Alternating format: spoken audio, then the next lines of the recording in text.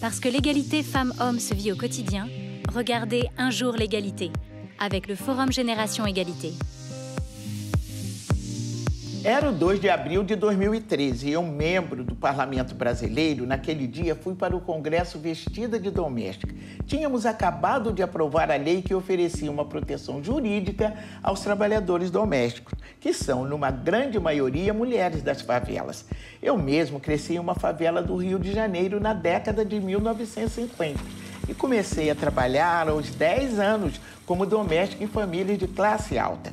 Trabalhamos sete dias por semana por um terço do salário mínimo brasileiro. Esta situação insuportável me deu a força de retomar os estudos aos 40 anos, com a esperança de poder mudar as coisas.